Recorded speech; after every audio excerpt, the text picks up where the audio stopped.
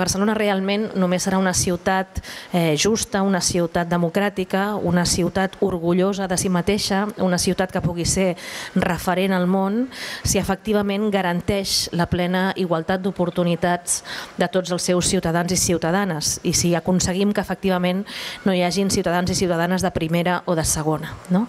En aquest cas estem parlant de que a Barcelona hi ha 9.500 persones amb discapacitat, discapacitat intel·lectual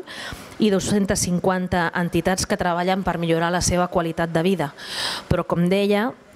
crec que a la nostra societat encara li falta molta feina col·lectiva per ser conscients de que d'una manera o altra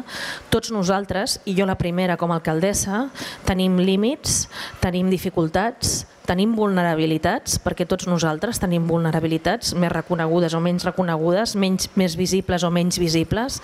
i el que és important és, és que entre tots nosaltres construïm una ciutat que sigui una comunitat on tothom rebi l'acompanyament i el recolzament suficient per aconseguir desenvolupar el seu projecte de vida amb autonomia, amb llibertat i amb dignitat. Per tant, com que volem que Barcelona sigui una ciutat referent al món, com que volem que Barcelona sigui una ciutat que garanteixi la llibertat, els drets i, les dignitat, i la dignitat de tots i cada un dels seus ciutadans i ciutadanes, avui estem una miqueta més a prop d'aquest gran objectiu.